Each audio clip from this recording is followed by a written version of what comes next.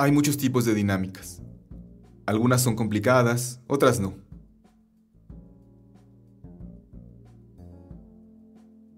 Observa este campo vectorial en el espacio.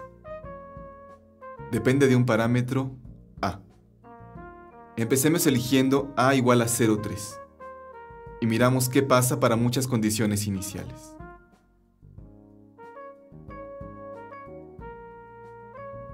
Después de un tiempo, todas caen en una órbita periódica. No hay caos aquí.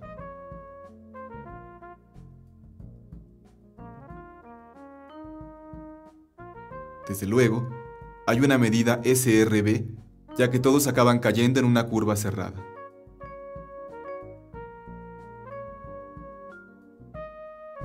Cambiemos lentamente el parámetro.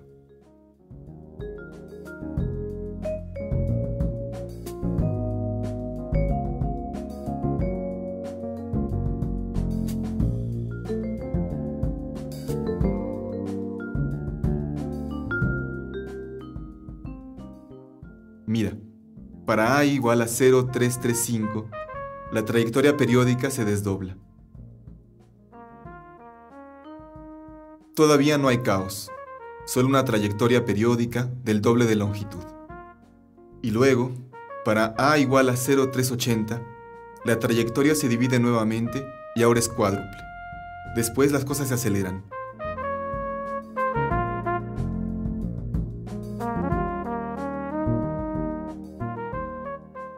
Para A igual a 0,405, las cosas se vuelven complicadas y caóticas.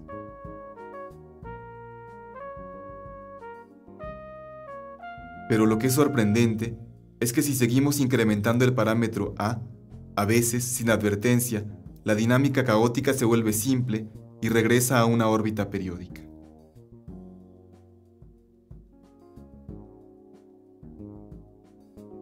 ¿Cómo entender estas bifurcaciones? ¿Cuál es el comportamiento más común en la naturaleza? ¿El caótico? ¿El no caótico? No es del todo claro. Durante siglos, no tuvimos ni idea de que el caos existiera y ahora lo vemos en todos lados. Para cada valor de A, podemos marcar la curva tractor en un plano y dibujarla en rojo. Conforme el parámetro varía, obtenemos este encaje que llamamos diagrama de bifurcación.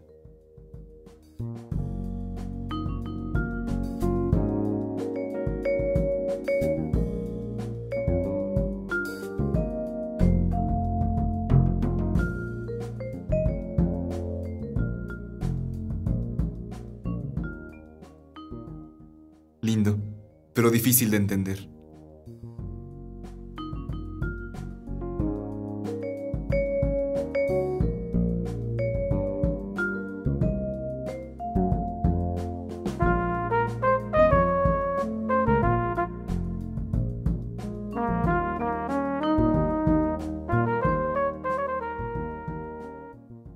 Aquí hay más dinámicas. Los matemáticos buscan establecer resultados que sean siempre ciertos. Pero usualmente empiezan estudiando ejemplos. Luego esperan que lo que ven en un ejemplo se vea realizado en toda generalidad.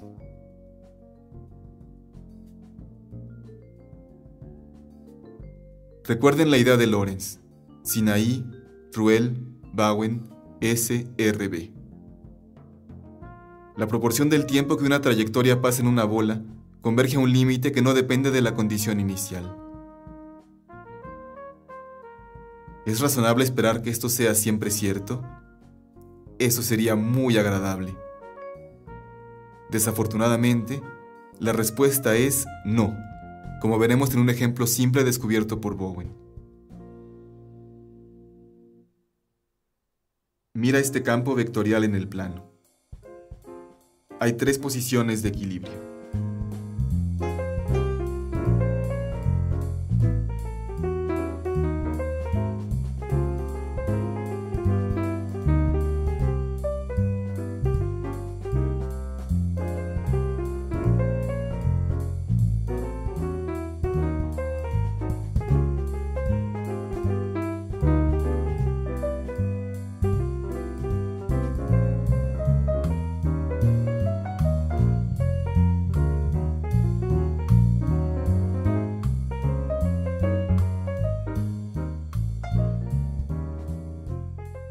Empieza una trayectoria.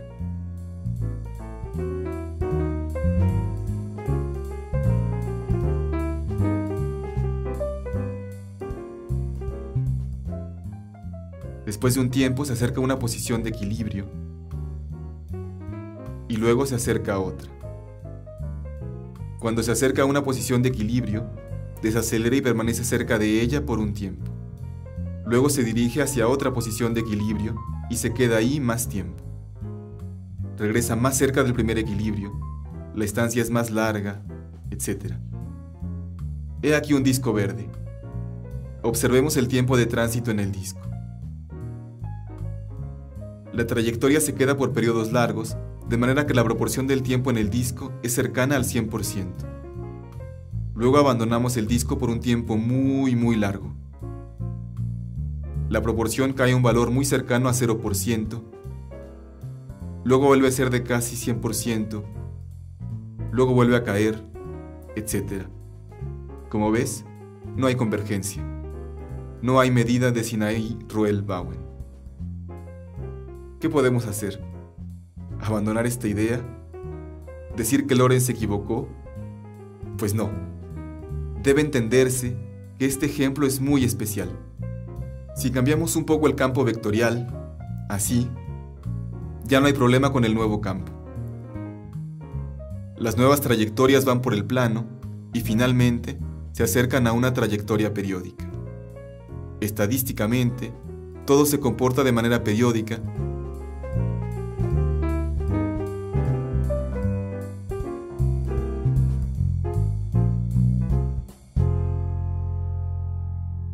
y tenemos una medida de Sinaí Ruel Bowen.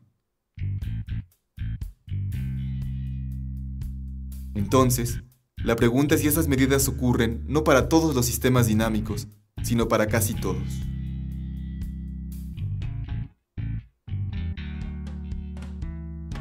Pero inclusive ahí tenemos que calmar nuestro entusiasmo. Observa este campo vectorial.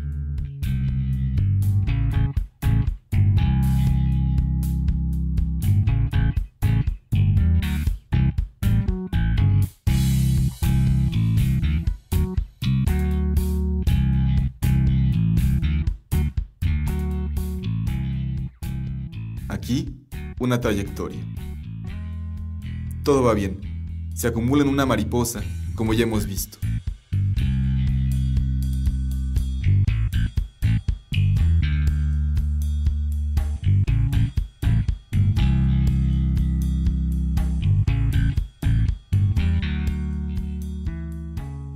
Si la condición inicial se mueve lentamente en el eje azul, todo continúa como debería la trayectoria se sigue acumulando en el mismo atractor, aunque le tome más tiempo llegar ahí. Y podríamos verificar que las estadísticas son las mismas. Pero de repente, sin advertencia, sorpresa. Las trayectorias se acumulan en otro lado, en otro atractor, totalmente distinto al primero. Aparentemente, el espacio se divide en dos regiones. Si uno empieza en un punto en la primera región, la trayectoria se acumula en el primer atractor. Si empezamos en la segunda región, terminamos en el otro atractor. En otras palabras, no podemos decir que haya una medida SRB, ya que la estadística límite depende de la condición inicial. Pero diremos que hay dos medidas SRB. Para ciertas condiciones iniciales, las estadísticas siguen a la primera y para otras, a la segunda.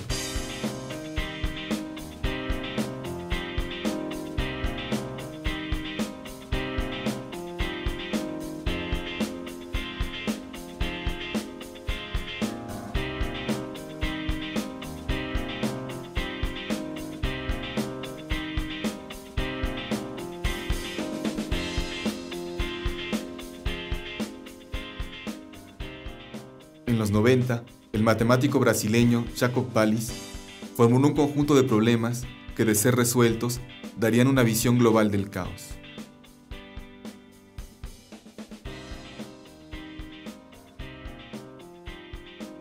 Uno de ellos es afirmar que la situación que acabamos de ver es típica.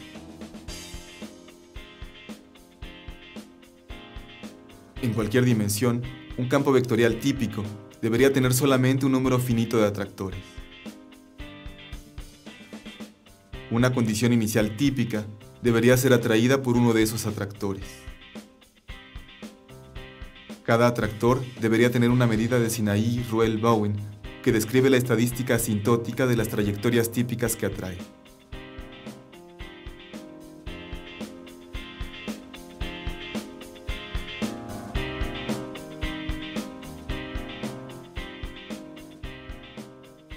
Todo un grupo de matemáticos trabaja arduamente en estas conjeturas y las está resolviendo metódicamente, pedazo a pedazo.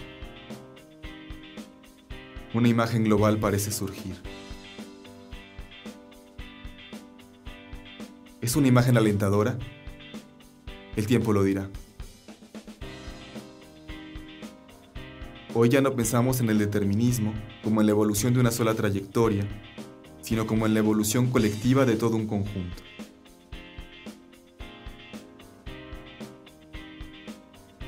La sensibilidad de las trayectorias a las condiciones iniciales se compensa por cierta estabilidad estadística de todo el conjunto.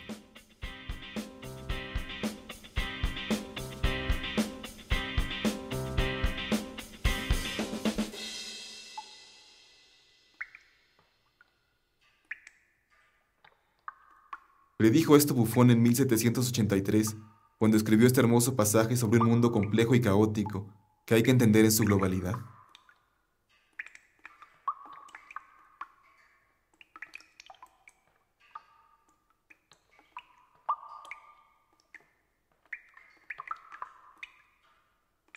Todo sucede porque con el tiempo todo se encuentra. Y en la extensión de los espacios y en la sucesión continua del movimiento, toda la materia se mezcla, toda forma sucede, toda la figura se imprime. Así, todo viene y va, todo se junta o se separa, todo se combina o se opone, todo se produce o se destruye por fuerzas semejantes u opuestas, las únicas constantes. Y, equilibrándose sin perjuicio, animan el universo, lo convierten en un teatro de escenas siempre inéditas y de objetos que, incesantemente, renacen